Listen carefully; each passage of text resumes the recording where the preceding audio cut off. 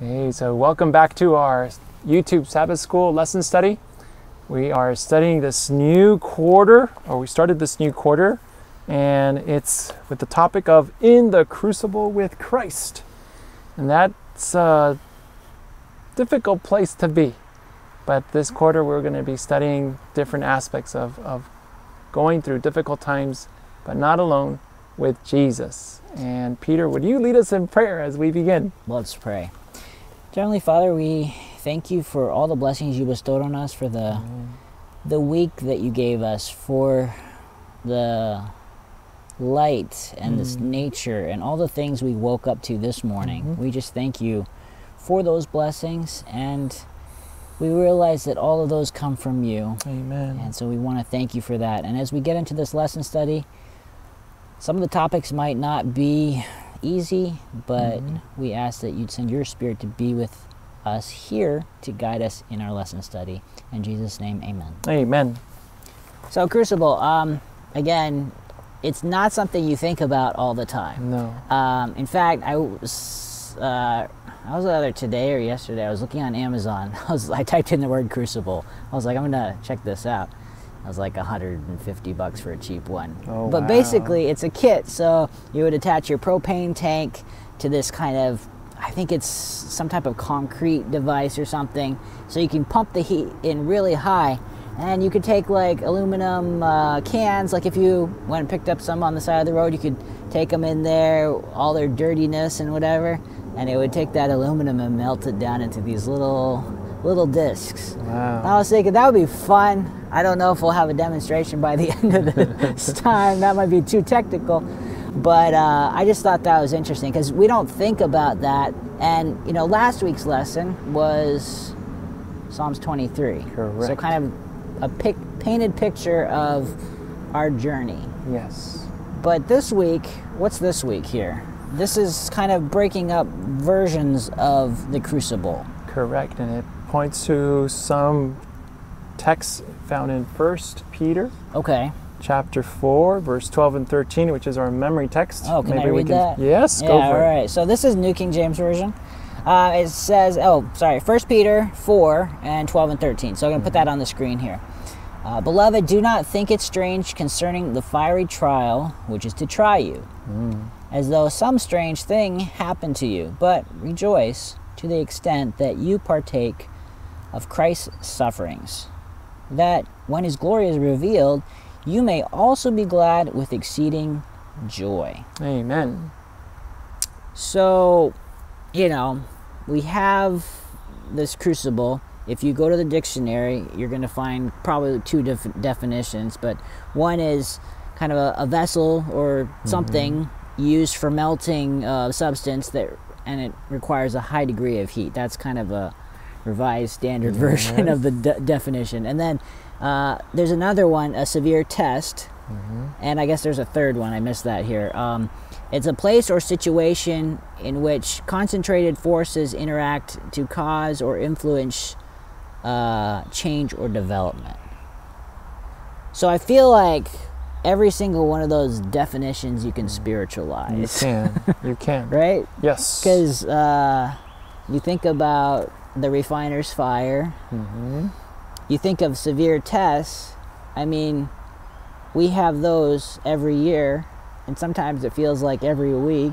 Yes. Various little things. They're micro things in the big scheme of things. If I look back a month ago and there was a crazy test, it was horrendous for like a day or 2 But now I don't think about it too much.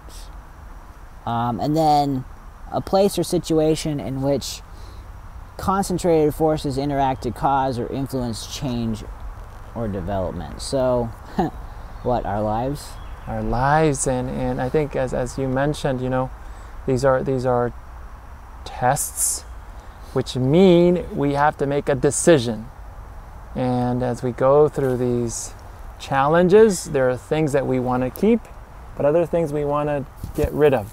That we recognize we don't need this. This is just an obstacle on the path upon I'm walking. And so it's again a, a reminder of, of what is important. Okay, so what are the causes of difficult times that we experience? What could be a cause? A cause could be something as as as basic as um, going through hardship because of my faith, Oh, and this okay. could be at work, something that challenges me at work, where I I have my belief in God and I have these principles, and because of that, I can't go along with what's happening at work. You know, not all of us are in those situations. We mm-hmm. we're blessed by where we work. Maybe it's our employer, Correct. or maybe it's just our situation, the country we live in, where Correct. There's certain freedoms that we don't think about until we get to a place that doesn't have those, and then we're like, oh. Uh, back to this whole concept of what is causing these difficult things. Let's take it just uh, standard anybody's life uh, in the uh, from a Christian perspective, somebody's life. Um, they're dealing with various things, and let's say you get a call one day, and a family member has passed away, and that family member was super healthy, and suddenly there was a car accident, and that family member is no more. Or you get that call from your best friend and or maybe it's at the end of the phone call and they're like oh by the way i'm i'm dealing with some health challenges and you realize hmm. wow they have cancer and hmm. you know they're in their 30s and hmm. i'm in my 30s and it just it, even if it's not a super aggressive form of cancer it kind of triggers you to think of like wow um, like that could happen to me how would that change my life um, but let's go back to this Peter's take. Yes. And, and it looks like Peter is telling Christians, telling the church, telling us that um, walking with God, walking with Jesus, does not mean we will not go through trials. Hmm. Okay. In fact, it means that we might go to many trials, many more trials, just like Jesus went through so many trials when he was here on Okay. earth. So let's go to uh, First Peter Okay. again. Um, First Peter four. Or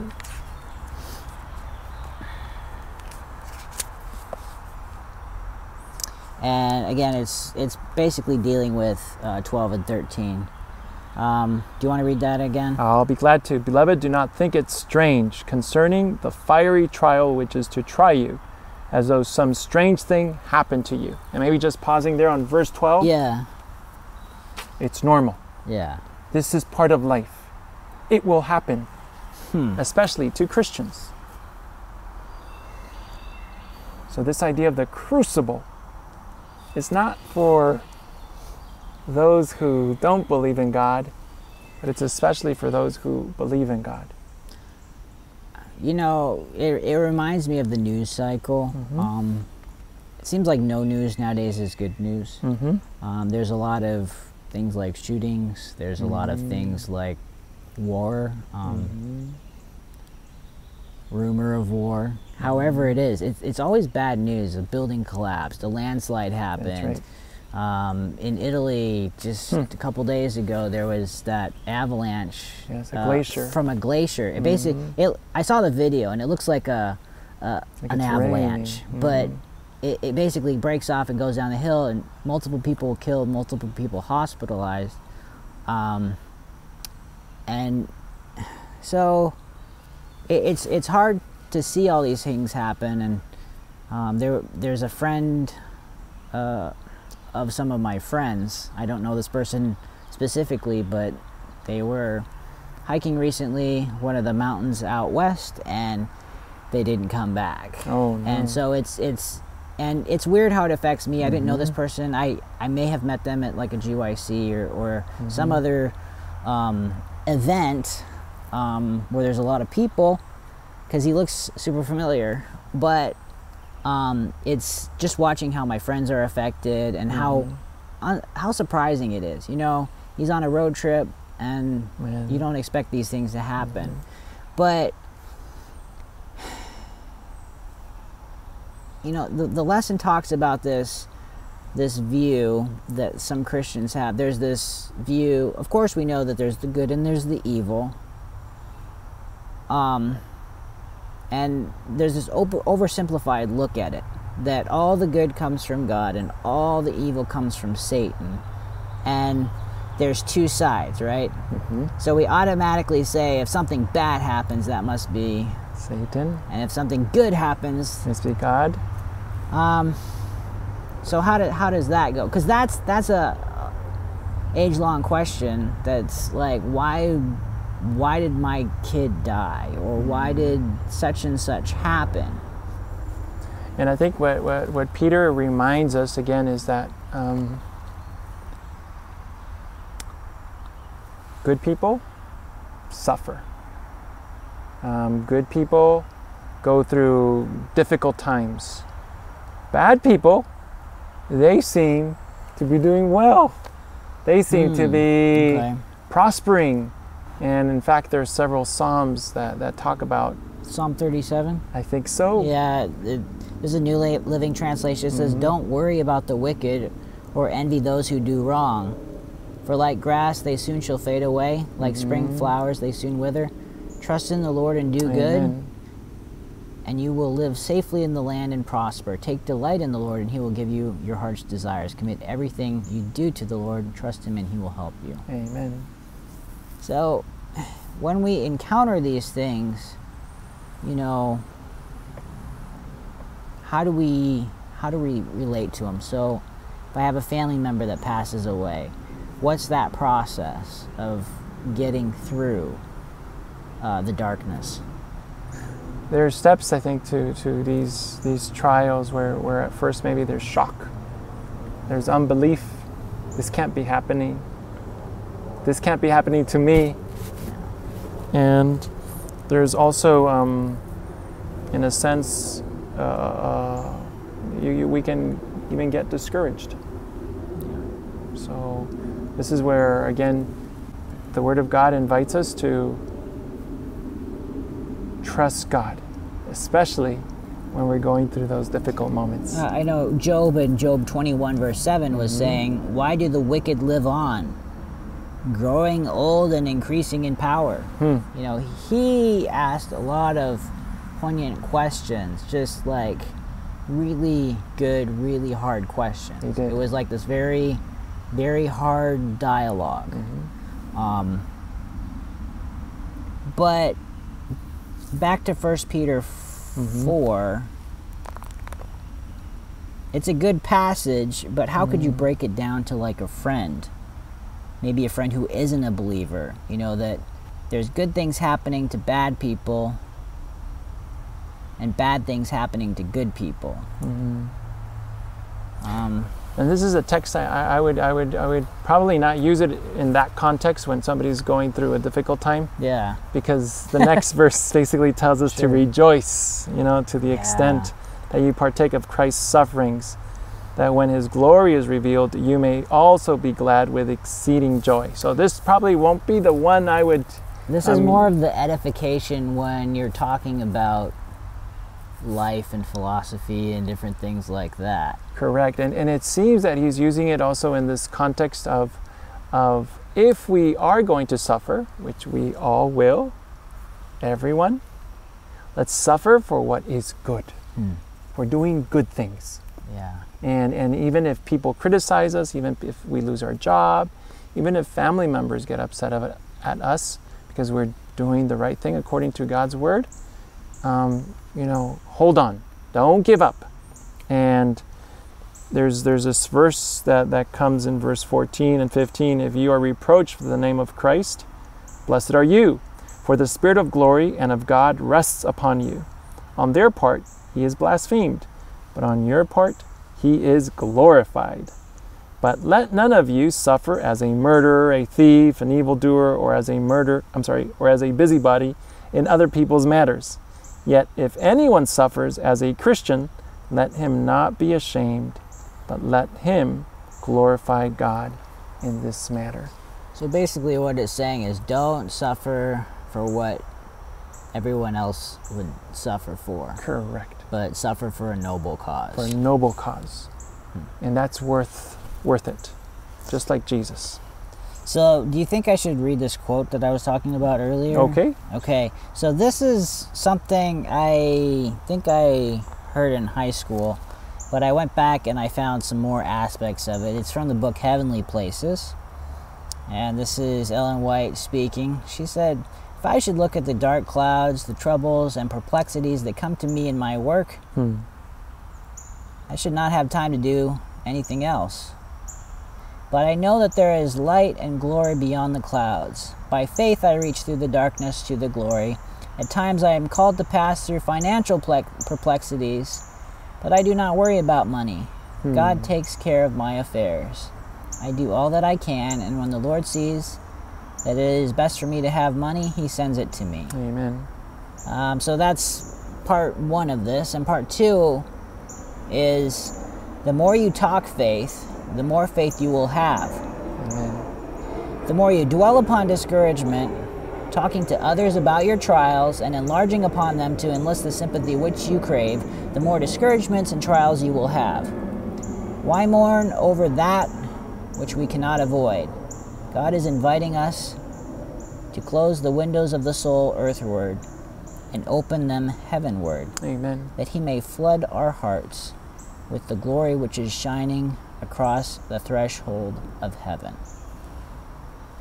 I like this quote, this this quote that you shared with us because it, it's an invitation really that in these difficult times, these challenges that we face, we don't have to face them alone. Hmm.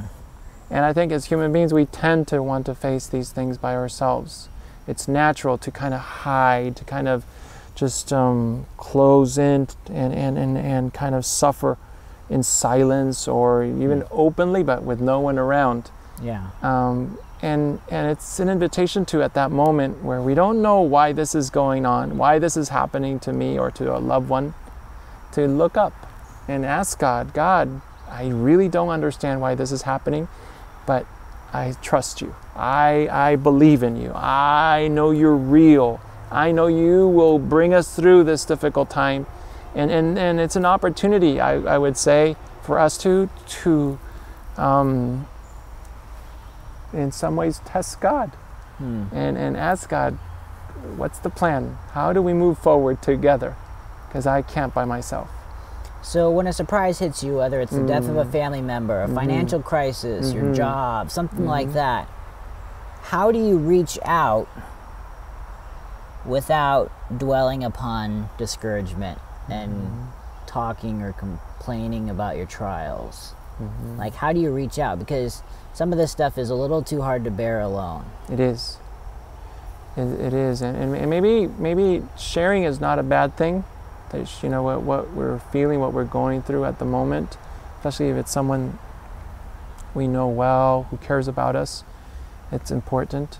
Um, and two, maybe trying to focus on you know next steps also. So it's easier for us to dwell in what happened in the past but the question really is okay how do we move forward and and, and do it in a way that is honorable that is um, constructive that is somehow um, helpful to those who are Mhm. around us or to the person also that that is going through this difficult time and so somehow I, I, what I see the Bible do time and time again says, hey, yes, we're in this situation, but there's something better.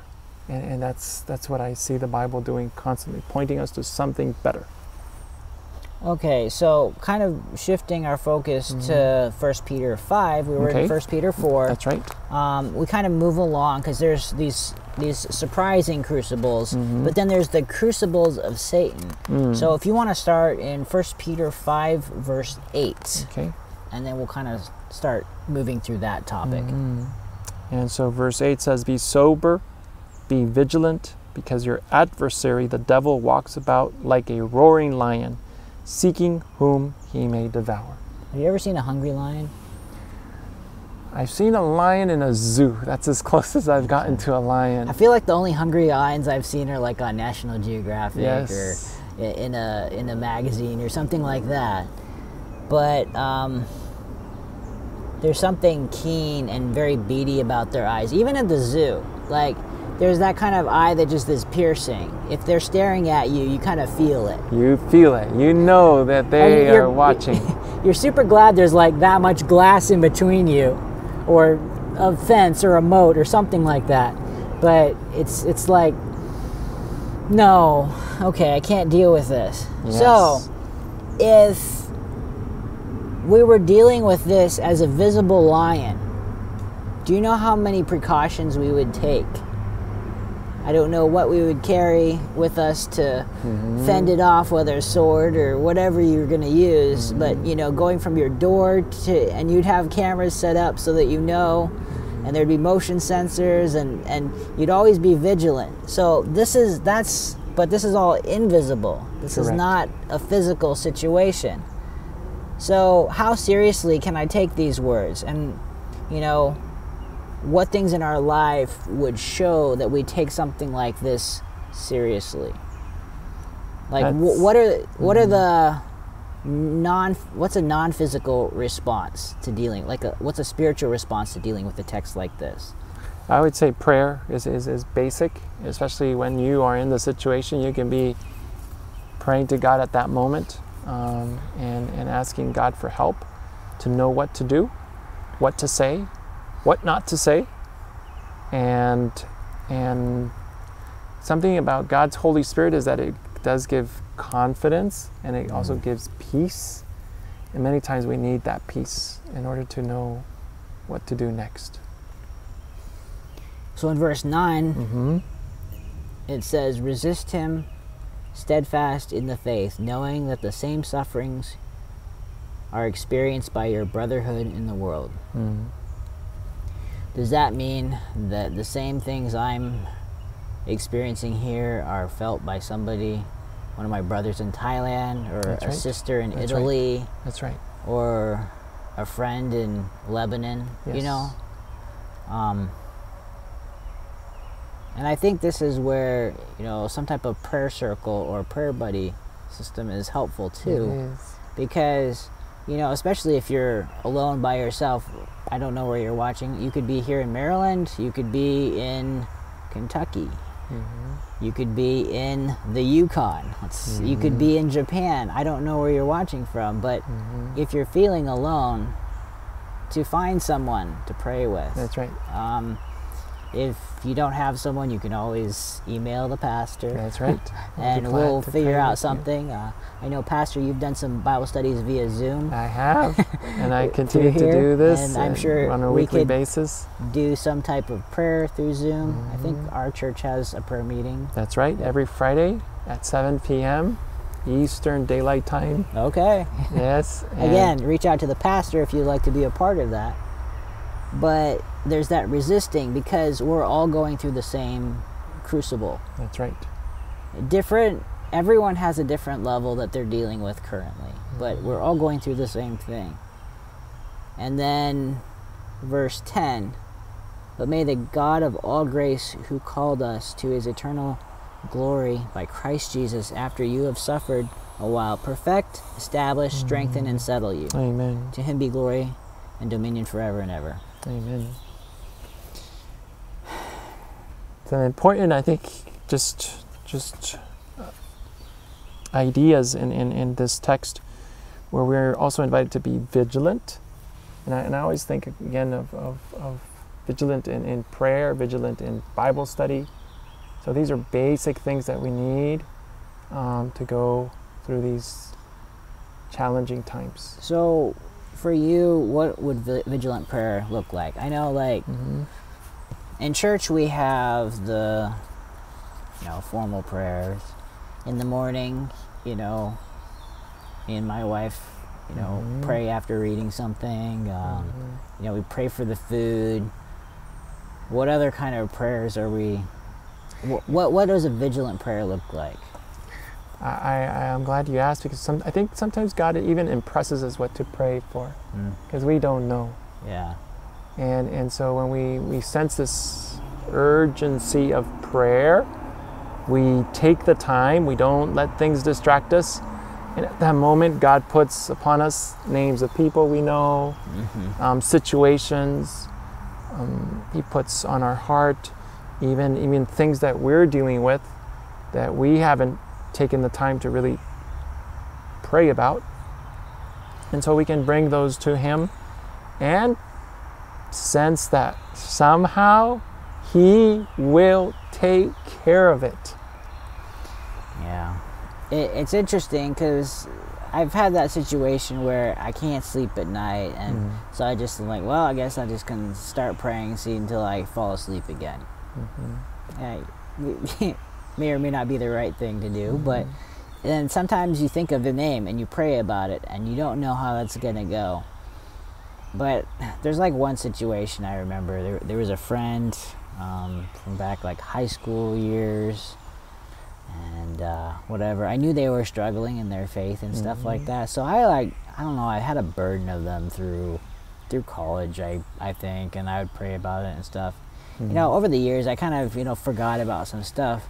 But now looking at them, I'm like, wow, they have really changed, and there's something going on. And to me, that's like fantastic. Because I'm like, that means that like these other friends who are struggling, I could start putting that type of effort into these other friends Amen. and eventually there's going to be some fruit.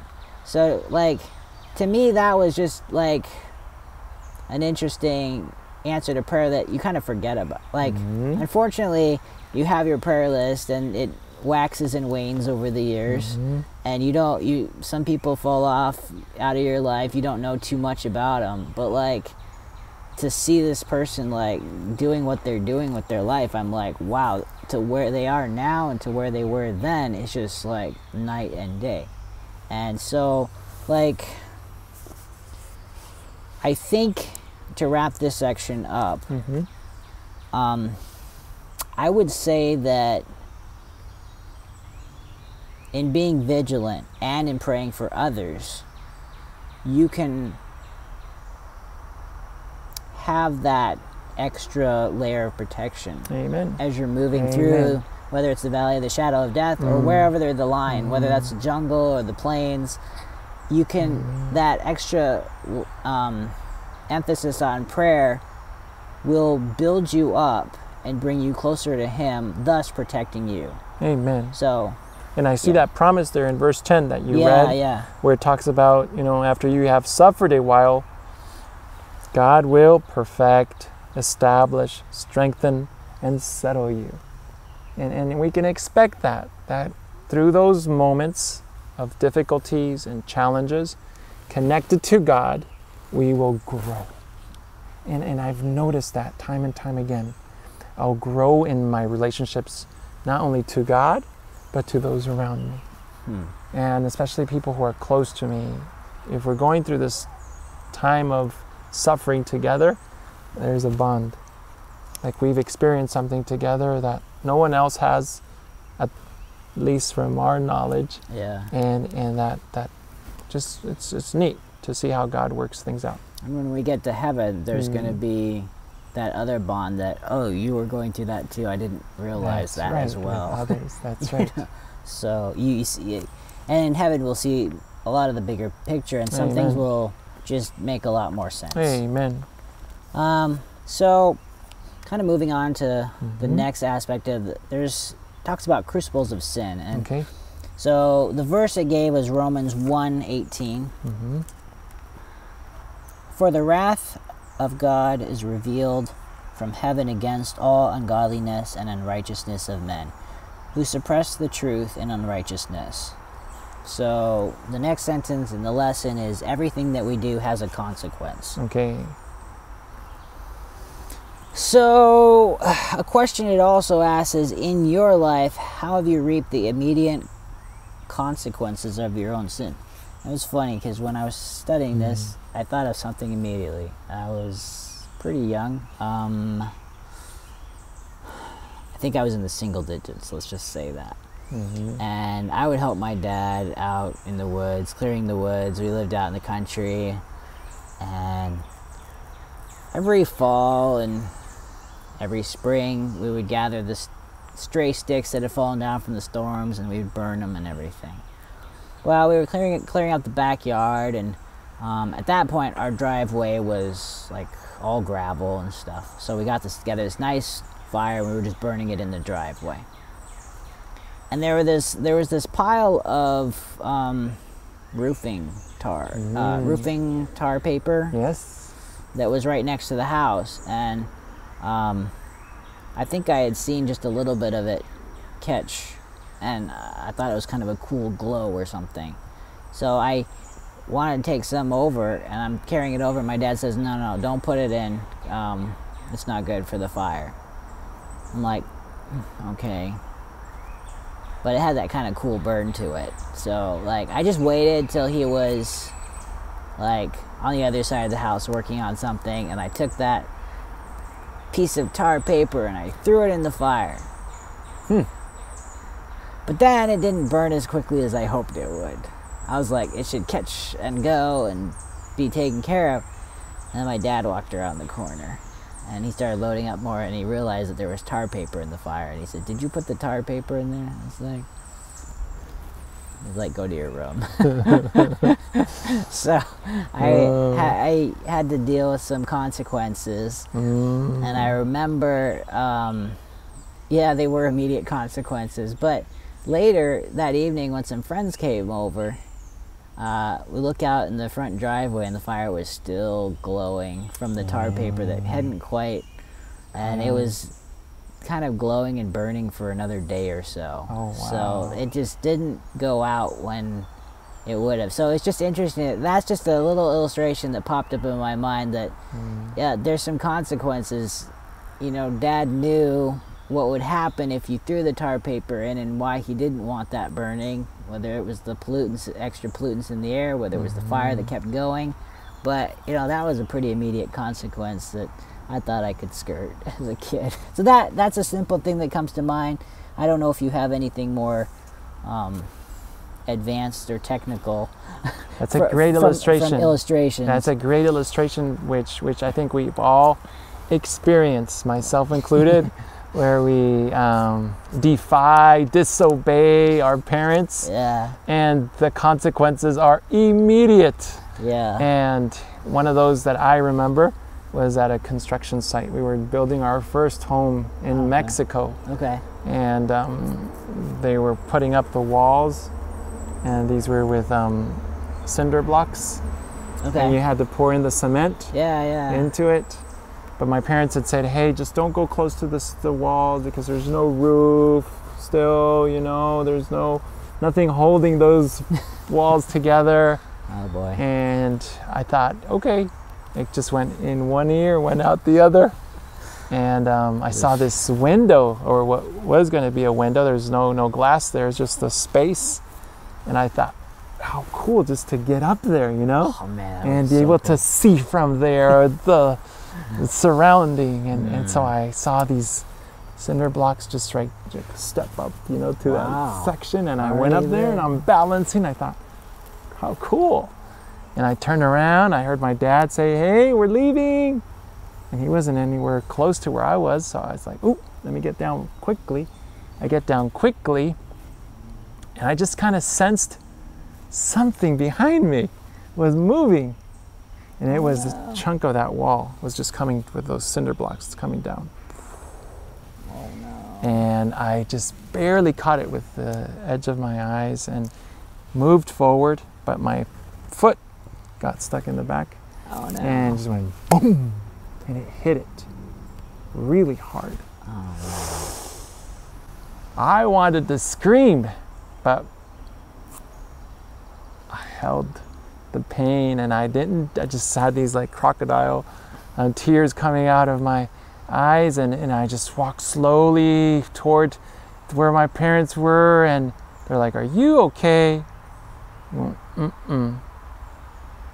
Something fell on my foot.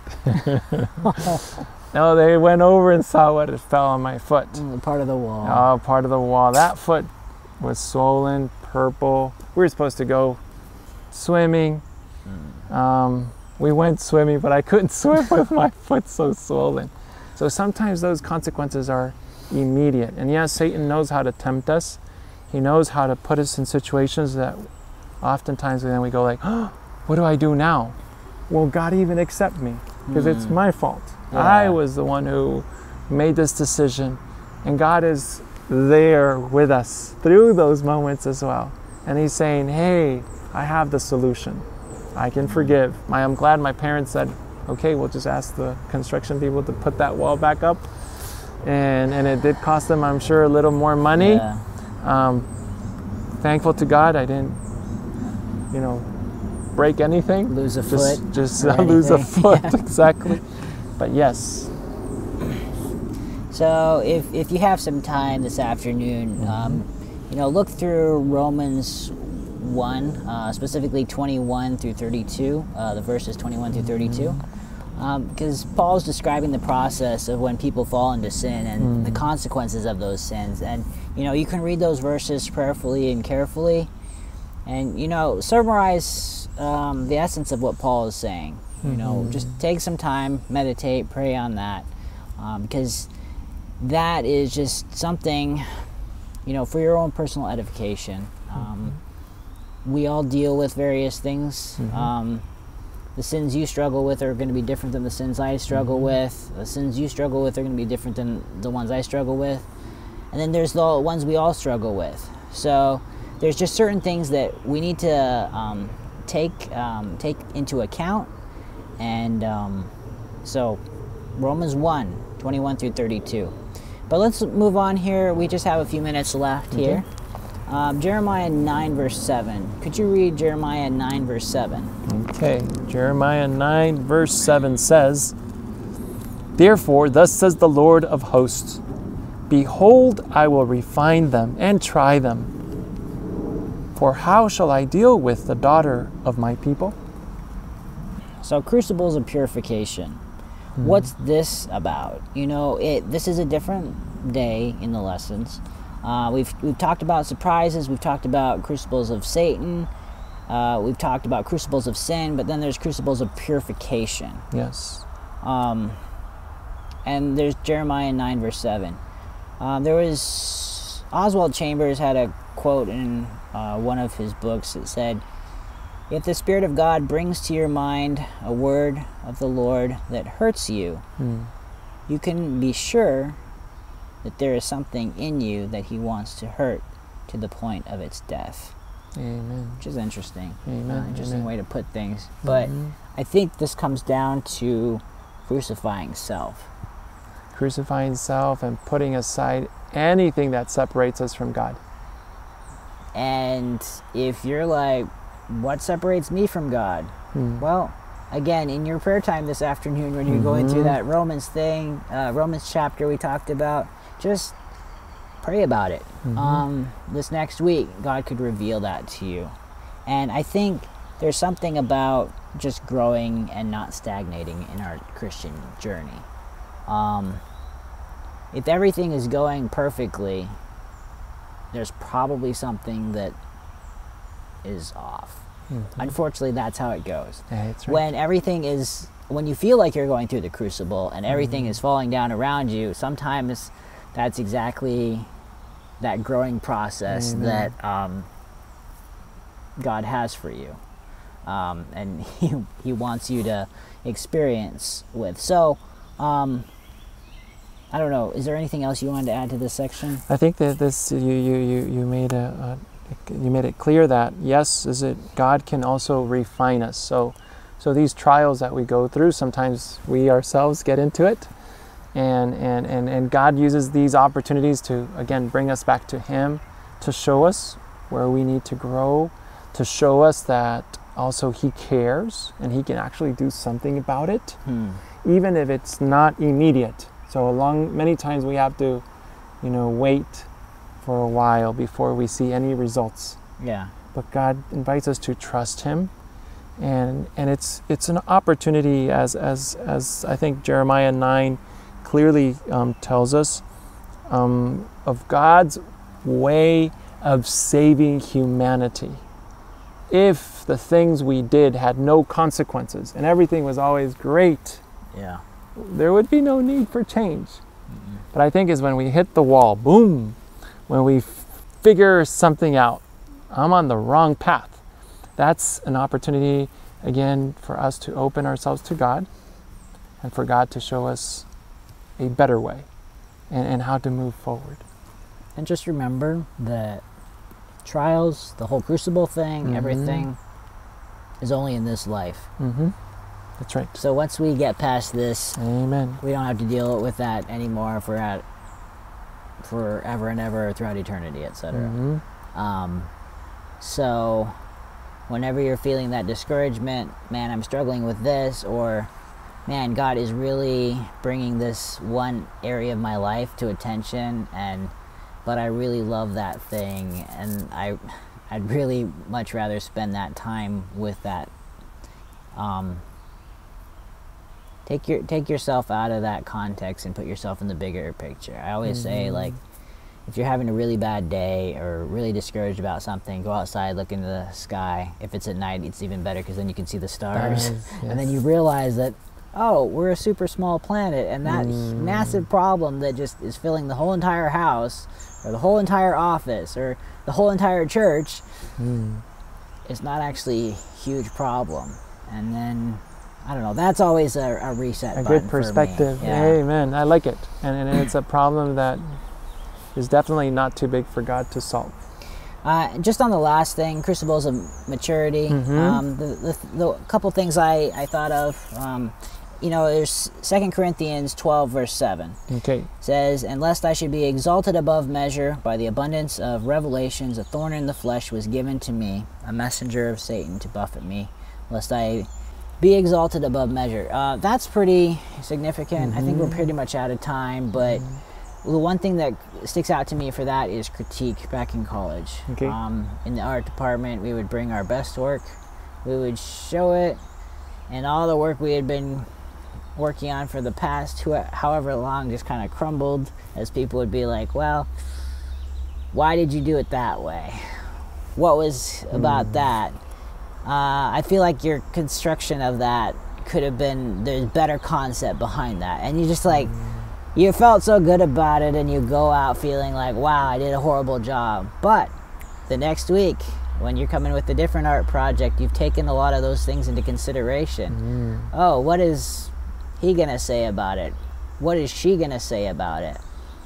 How can I make this to be the best representation, to carry my original intentions and what my imagination for what this could be? Mm-hmm. So, it thorn in the flesh is like something there in some ways to protect you from certain things. Correct. Like- Reminding us.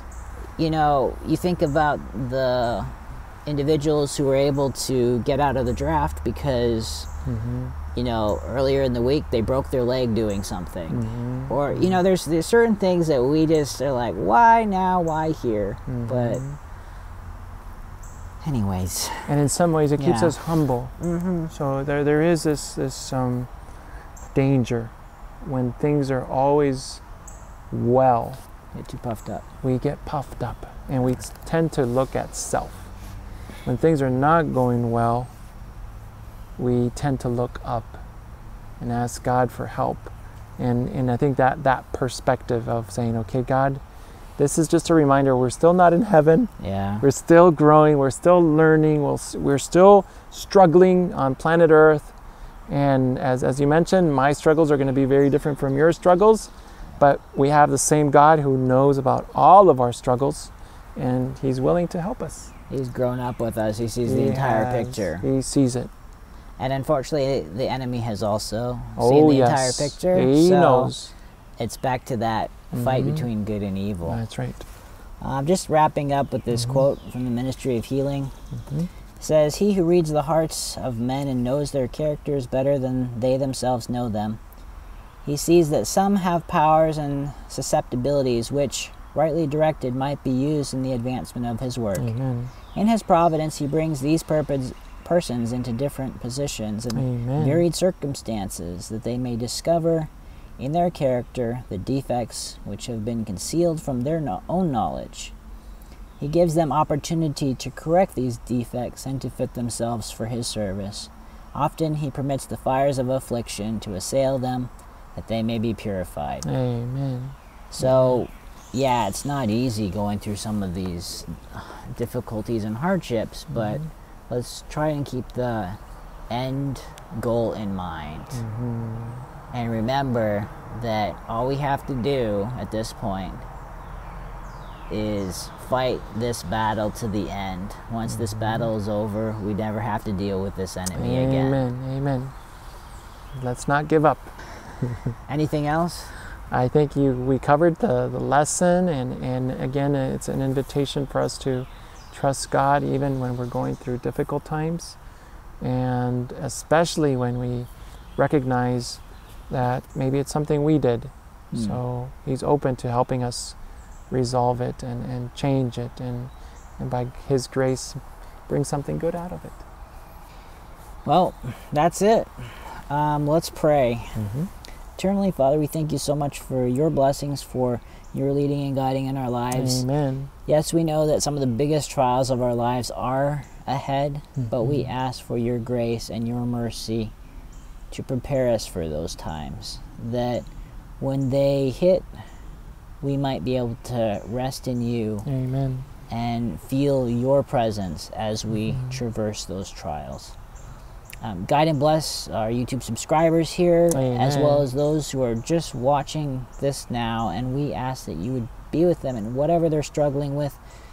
Send your spirit to comfort, strengthen, and guide them. And now, as we continue on into the next week, we ask that you would guide and go with us and be near us. In Jesus' name, amen. Amen. Hey, thanks for being with us. Yes. Don't forget to subscribe, hit the bell so that you get notified when these videos go live. And Mhm. I guess we're headed off to the church now. Or if this video ends, click it. There's going to be another church here or here or somewhere else. so um, take care and happy Sabbath.